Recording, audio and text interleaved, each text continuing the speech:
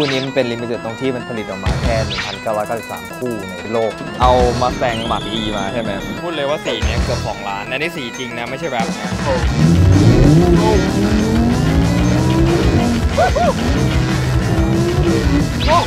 สวัสดีครับ กลับมาอีกกับโซนนะครับ กับแพทริกเดวานิโนนะครับ วันนี้ก็อยู่กับรายการ Sunday with Patrick นะครับ ก็วันนี้นะครับผมกะว่าจะพาเพื่อนๆมาขับรถเล่นด้วยกันนะ แล้วก็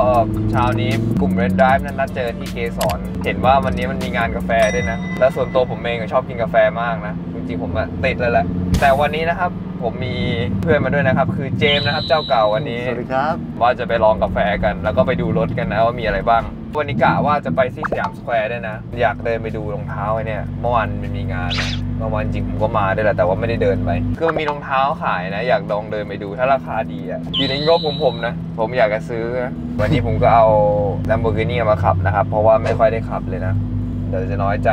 หลายคนก็ถามมานะว่าเอ้ยแลมโบที่จองไปตอนนั้นน่ะได้เมื่อไหร่อะไรอย่างงี้ใช่ปะคือจริง ๆ แล้วอะผมเองก็อยากรีบได้นะครับ แต่ว่ามันไม่มาสักทีคืออย่างนี้รุ่นที่ผมจองไปอะมันคือรุ่นใหม่ของรุ่นนี้แหละคือ all new เลยไม่ใช่เทคนิก้าอะไรนะ คนชอบนึกว่าแบบแพทริกจองเทคนิก้าใช่ไหมจอง STO ใช่ไหมไม่ใช่นะ ผมจองแบบ all new เลยเพราะว่าตอนนี้เนี่ยคุณอาคารยังผลิตอยู่แต่ก็เลิกเปิดจองแล้วเพราะว่ามันจะเริ่มเคลียร์แชสซีรุ่นนี้ให้หมดแล้วนะ คือ s t e r a t o คือตัวสุดท้ายของคูราคารแล้ว แต่ก็นั่นแหละช่วงเวลานี้เราก็เก็บตังค์กันไว้ก่อนนะจริง ๆ แล้วผมสามารถจองให้มาเป็นคันแรกในไทยได้เลยนะ แต่ว่าเพียงแค่ว่า ผมกลัวว่าพอมันเป็นรถที่แบบ all new เลยอะแล้วด้วยเป็นไฮบริดด้วยนะ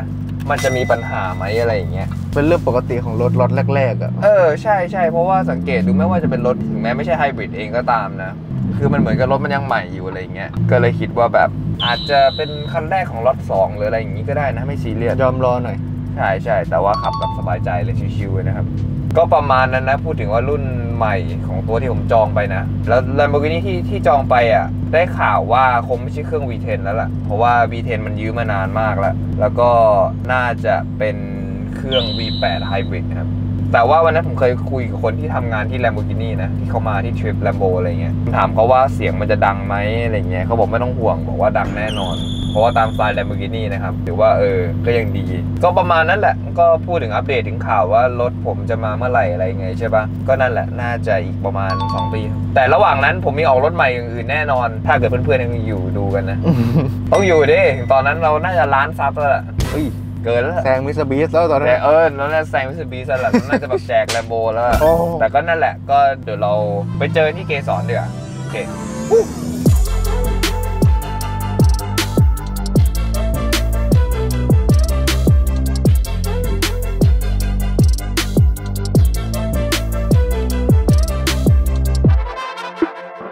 อันนี้เจอพี่ซิดอีกแล้วนะครับ สวัสดีครับ สวัสดีครับ วันนี้สวัสดีครับวันนี้พี่ซิดเอามาแซงหมักอีมาใช่ไหมใช่ครับ จริง ๆ มันไม่ใช่มัส t ต n งคือจริงๆเนี่ยบริษัทฟอร์ดเนี่ยมันตั้งบริษัทใหม่ชื่อมัส t ต n งซึ่งไม่เกี่ยวกับตัวมัส t ต n งของฟอร์ดเลยอ๋อมัส t ต n งเนี่ยปกติมันจะเป็นรุ่นของฟอร์ดอันนี้มัส t ต n งเนี่ยคือชื่อบริษัทใต้ฟอร์ดอ๋ออ่าแล้วมัส t ต n งตัวเนี้ยจะทำเฉพาะ EV อย่างเดียวอ่าก็อย่าไปอย่าไปสับสนว่ามันคือ Mustang อะไรอย่างใช่เงี้ยอย่าไปสับสนว่ามันแต่ไม่ใช่ Mustangเดี๋ยวผมไปดูหน่อยกับพี่ซิดแวบมาด้วยนะเนี่ยครับ พูดเลยสปอนเซอร์ฟอร์ดต้องเข้าอะนะ ตรงนี้นี่เวลาเปิดกดอ๋อ มันเด้งออกมาเองให้ด้วยหรเด้งมาเองใช่นะและตรงนี้คือตัวปุ่มกดล็อกอ๋อ ปุ่มล็อกนี้เลย ใช่ และตรงนี้เนี่ยคือตัวคีย์แพดอ๋อถ้าถ้าใส่สรมมหัสติว่าเราเอากุญแจไว้ในรถเนี่ยเราก็กดคีย์แพดเข้ารถได้อ๋อข้างหลังก็เหมือนกัน กดนี้กดแล้วก็เอ้ยกดแล้วเด้งออกมาอ๋อแต่กดแล้วต้องจับนี่ใช่ใช่มันจะได้ไม่ต้องมีที่ดึงมีที่มาใช่จับอะไรนะถูดีกต้องไซน์คือให้มันดูจะไสมูทสมูทไปดูsmooth ใช่ แล้วพี่ซิดใช้เป็นไงครับ อยากจะรู้ใช้จริง คืออย่างนี้ตัว Mark E เนี่ยออกมาหลายรุ่นมากเกือบเกือบ10เวอร์ชันเลย ตัวนี้คือตัวท็อปของ Mark E ก็คือมอเตอร์เนี่ยปกติเลยเนี่ยถ้าเป็นขับ 4 มอเตอร์หน้าจะเล็ก มอเตอร์หลังจะใหญ่ ตัวนี้เนี่ยเขาเอามอเตอร์หลังที่ใหญ่มาใส่หน้าคันนี้เกือบ500ม้าแล้วก็ตัวนี้เนี่ยจะเป็นตัวเดียวของตัว Mark E ที่เป็นช่วงล่าง magnetic จะเป็นปรับอัตโนมัติหมดเลยครัเลบซึ่งถ้าเป็นตัวอื่นจะไม่มีตัวนี้อ่าแล้วก็ข้างในครีมต่างๆบอกเบิดก็แตกต่างกัน ผมไม่ค่อยเห็นมันออกมาวิ่งบนถนนนะลดน้อย เพราะลดว่าน้อยฟอร์ดไม่ได้เอาเข้ามา จะเป็นเกรย์ที่เอาเข้ามา วิ่งได้กี่โลครับชาร์จครั้งหนึ่งอ่าชาร์จข้างหนึ่งอยู่ที่น้ำหนักขาแล้วนี่น้ำหนักขาใช่ไหมสามร้อยห้าสิบถึงห้าร้อยอ๋อแล้วแต่น้ำหนักขาเลยเฮ้ยแต่รถมันก็ดูแบบนั่ง practical มากเลยนะ แบบว่าไปใช่ตีกอล์ฟไปอะไรอย่างงี้สบายสบายใช่สบาย ก็อยากให้มาครบหมดเลย อืม ดูดีนะแบบว่ามีโลโก้มาส t ต n อยู่ด้วยนี่โลโก้มาส t ต n อะไรอย่างเงี้ยคือจริงๆฟอร์ดเขาคงเป็นกังวลมั้งว่า ถ้าเกิดออกมาแล้วเนี่ยคนจะไม่ติดไม่อะไรก็เลยพยายามลิงก์ตัว Mustang ของเขาเนี่ยเข้ามาใช้ ซึ่งจริงๆแล้วคนก็ชอบกันแหนกว่าอืมมันไม่ใช่ Mustang นะอ่าก็จริงมันไม่ใช่ Mustang แหละ แต่อันนี้คือบริษัท Mustang แค่นั้นเองแต่ของ Ford อะเขาก็มีสิทธิ์ที่จะทำอะไรต่างๆกันานาอย่างเงี้ยอืมแต่ผมสังเกตเห็นรถพี่ซินนะจะต้องมี gadget อะไรเยอะมากแบบกล่องทิชชู่ที่ใส่เหรียญอะไรอย่างเงี้ยแล้วอันนี้ก็ติดเอง เอออันนี้ก็แบบติดเองนะครับใช่เออแล้วก็มีมีกล้องหน้ารถกล้องนะหน้ารถติดตรงนี้ใช่เลยเหรอครับพี่ซินใช่เออพูดถึงเราติดนี้ก็ดีนะเจมส์เราเอาฟุตไปใช้อะไรอย่างเงี้ย แล้วก็มีมีตรงนี้นะเทสลาไม่มีอะไรเลย ใช่ ตรงนี้คืออินโฟ a t ชันทั้งหมดที่เป็นสำคัญสำคัญๆอยู่นี้หมดเลย โอเคเลย มีจอนี้อยู่ แล้วจอนี้ก็ใหญ่มากเลจอยนี้ใหญ่มาก แล้วที่สำคัญนะครับเพื่อนๆ คันนี้ให้เครื่องเสียง B&O มาด้วยนะ ใช่ เครื่องเสียงดีไหมครับพี่เคซิรื่องเสียงเยี่ยมมากลำโพงน่าจะ 10 กว่าตัวมั้งสิบกว่าตัวเลยใช่ไหมเออใช่เออจำไม่ได้ว่าเท่าไหร่ละ ผมว่ามันเหมาะกับแบบชิลๆเลยนะแบบว่าขับขัชิวแบบๆมากชิวๆชิวๆแล้วต้องการจะเร่งจะแซงก็มาทันที ก็คันนี้ศูนย์ถึงร้อยก็ประมาณ 3 กลางๆอยู่ในลักษณะของ sports car แต่ประเด็นคือว่าเวลา responsive เวลาเราจะแซงเนี่ยกดปั๊บเนี่ยคือกระชากมาเลย คันนี้ราคาเท่าไหร่นะพี่ซิคันนี้ประมาณ 5 ล้าน ตอนแรกเนี่ยคิดว่ารถอเมริกันข้างในมันจะทำแย่เหมือนเดิมครับปรากฏมาดูแล้ว เอ้ยโอเคเลเฮ้ยยโอเคนะโอเคเลย พอโอเคปั๊บก็เลยจัดการวันนั้นเลยเรียบร้อยอันนี้จะครบปีแล้วนะขับทุกวัน เป็นรถใช้งานเลยอ๋อขับทุกวันข้างนั้นที่เป็น cooler นะอ๋อเหรอใช่ คือดีไซน์ดีมากอเมริกาเขาให้ใส่น้ำแข็งใส่เครื่องดื่มเบียร์เบิงเบียร์เบียร์ต่างๆก็นั่งกินได้เลยแล้วตรงนี้เป็นdrain น้ำไหลออกอ๋อมี drain น้ำด้วยแล้วนั่งดีไซน์มาแบบใช้ได้เลย คืออยู่ ตักน้ำแข็งใส่ไปนี้ได้เลยอะเวลามันไปปาร์ตี้ไงคก็รับเปิดมาแล้วก็เนี่ยอันนี้คือแบบแปลกมากไม่เคยเจอเหมือนกัน เดี๋ยวว่างๆไปลองกันนะได้ได้ได้ครับขอบคุณนะครับขอบพี่คุณซิครับ ครั้งที่แล้วเราเคยไปตอนนั้นที่งานมอเตอร์โชว์คันนี้แน่นอนนะครับ เป็น Brabus เป็นแบบ Smart นะครับคันเดียวในไทยที่เป็นพวงมาลัยขวานะ แล้วเป็นสีนี้ด้วย เป็นไฟฟ้านะแล้วสีมันทิฟฟานี่อะพูดเลยว่าตอนนี้สีทิฟฟานี่มันมามากเลยนะ เป็นอะไรก็ไม่รู้ Patek Philippe Nike หรืออะไรก็ตามนะ ถ้าเป็น Tiffany & Co.อะโป้ง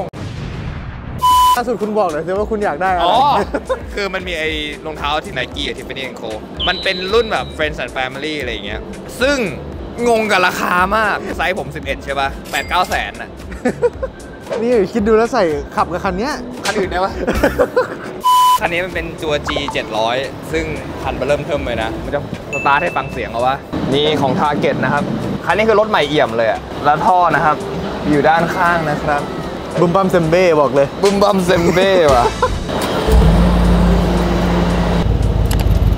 อ๋อ เขาเปลี่ยนเป็น Sport Plus เสียงมันก็จะแบบดังขึ้นนะรอบมันจะสูงขึ้นอะไรอย่างเงี้ยเบิ้ลดีปะนิดหนึ่งนิดหนึ่งก่อนนิดหนึ่งนิดหนึ่งก่อนอย่ามองอะอันอันนี้มัน soft limiter อะมันมี rev limiter อยู่เฮ้ยแต่เอาจริงๆเสียงแอบคล้ายๆอะไรรู้ปะคล้ายๆ Land Rover อ่ามี badge อะแต่นี่เป็นตัว Brabus 700นะคือแรงเลยเป็นตัวของ Brabus เครื่องเสียง Burmester ด้วยนะครับนี่ ปิดต้อง hardcore นิดนึง ใช่แบบว่าเวลาเสียงปิดเวลาพวก G คาร์อะไรอย่างเงี้ยนะ ต้องรุนแรงหน่อยอะรุนแรงกับรถมันหน่อยอะไรอย่างเงี้ยวันนี้อยู่กับ 2 พี่น้องนรกเฮ้ยอยู่กับพิมพ์กับภูนะครับไปไปเดี๋ยวเราหาซื้อกาแฟกันดีกว่า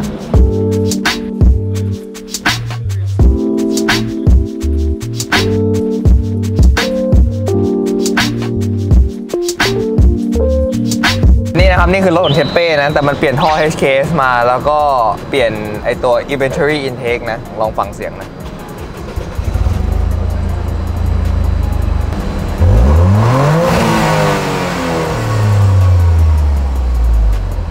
ทำไมไม่มีเสียงฟี่อะไรเลยวะ มีแต่น้อย เอาไปไหม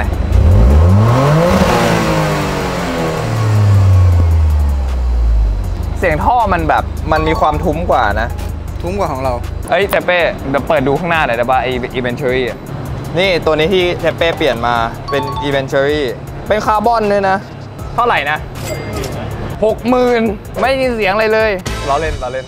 ตอนนี้นะครับผมก็ออกจากเกสรมาแล้ว ก็ผมว่าจะไปที่สยามนะครับ เพราะว่าเดี๋ยวผมจะไป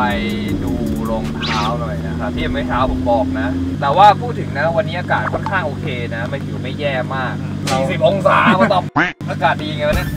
เฮ้ยนี่ไงนี่ไงนี่ไงนี่ไงข้างหน้านี่ไงโอ้ยสวยนะอ๋อมันเขียนเว้นเดย์เลยนี่วะอยากดูสีเหลืองครับชอบสีเหลืองมากกว่าเฮ้ยพื้นมีรูปปอร์เช่ด้วยนี่มี 992 อยู่นี่แล้วก็มีแบบ 964เฮ้ยทรงมันสวยทรงสวยแบบพอลองดูได้ไหมครับคู่นี้มันเป็น limited ตรงที่มันเป็น collaboration ของ Porsche Puma กับ88 Rising กับ The One You Know นะครับ ต้องจัดแล้วล่ะ มันครบรอบเฉลิมฉลอง 30 ปี Porsche Thailand ก็คือ AS นะครับ มันก่อตั้งในปี 1993 นะครับเขาเลยผลิตออกมาแค่ 1,993 คู่ในโลก อย่างที่ผมเคยไปถ่ายนะ ที่งานเปิดตัวอะไรอย่างนี้ฮะเขาจะมีรุ่น c a r r e r a ออกมาที่จะมี 7 สี ที่ใช้สโลแกนว่า Dreams in Color เมื่อวานนะมีงานนะ แต่เราเดินมาไม่ถึงแล้วเรามาสยามด้วยนะ แล้วมีแบบโชว์มีข้างหน้าอะไรเยอะเลยนะเดี๋ยวขึ้นรูปให้ดูแล้วกันเออนี่มีเขียนมาแล้ว1993 อ๋อดูดูกล่องคือ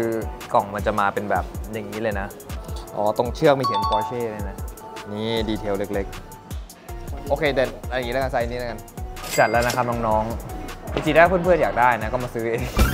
ส่วนคู่นี้นะครับ limited นะครับหาไม่ได้ง่ายๆนะครับ เพราะว่าเป็น The One You Know นะครับ ขายต่อได้เลยนะเนี่ย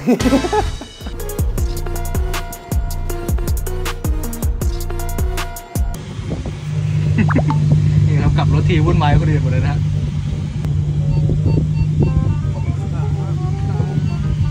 โอ้ my god นี่เราสวนมาอีกขนโอ้ยเฉียดไปแล้วโร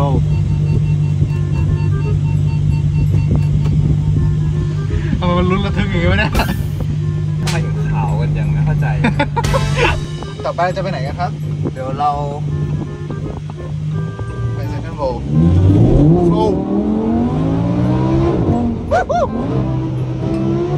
Flow.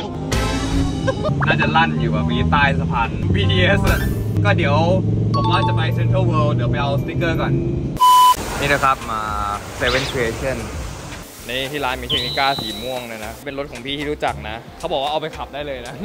พูดเลยว่าสีเนี้ยเกือบ 2 ล้าน อันนี้สีจริงนะ ไม่ใช่ wrap นะ แต่ว่าอันนี้ wrap กันรอยเป็นสีด้าน แต่สีตัวจริงสวยมากก็ดู brake caliper เป็นแบบสีเขียวอะ Joker spec แล้วก็เป็นล้อแบบ center lock เลยนะ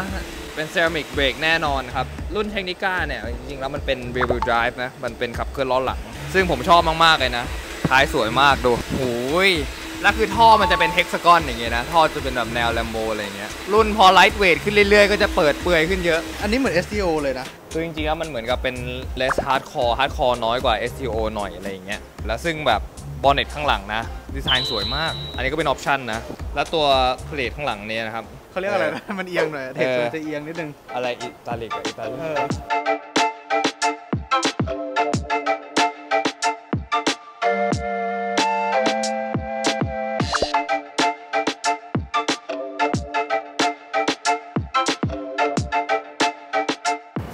นี้ผมกลับมาถึงบ้านแล้วนะครับ episode ต่อไปนะเพื่อนๆติดตามได้เลยนะครับ อันนี้คือเป็นกล่องดำที่ผมจะมาใส่ของ แล้วผมจะแจกให้เพื่อนๆนะครับ เอาไปทั้งกล่องเลยนะครับ คือจะแจกเพียงแค่รางวัลเดียวนะครับ ติดตามชมคลิปหน้านะครับ ว่าจะเป็นอะไรและทำยังไงถึงจะเข้าร่วมสนุกได้นะครับ จะแจกให้เฉพาะแฟน The One You Know จริงๆนะครับ เชื่อได้เลยว่า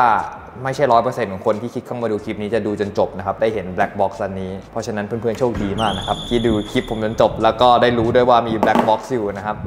ก็จริงๆแล้วก็อยากจะให้เพื่อนๆนะ เพราะว่าแน่นอนนะครับ ถ้ามีเพื่อนๆที่คอยดูคลิปผม ผมก็คงไม่ได้มี Patrick The One You Know ในวันนี้นะครับ ก็ยังไงสำหรับวันนี้ผมก็อยากจะปิด vlog เป็นเท่านี้แล้วล่ะ ก็วันนี้เป็น Sunday ชิวๆนะ เป็นแบบว่าขับรถไปด้วยกันกับแพทริกอะไรอย่างนี้เข้าเมือง เข้าไปขับไปเกสรเจอพี่ๆเวนดรฟ์กันนะครับพาดูรถสวยๆอะไรอย่างนี้ ตามสไตล์แพทริกนะครับ ก็ขอบคุณมากเลยนะครับที่ดูคลิปจบไงก็ฝากกดไลค์กดแชร์และ subscribe ด้วยนะครับ ติดตามชมนะครับคลิปหน้าบอกเลยห้ามพลาด วันนี้ไปแล้วครับ สวัสดีครับ Woo!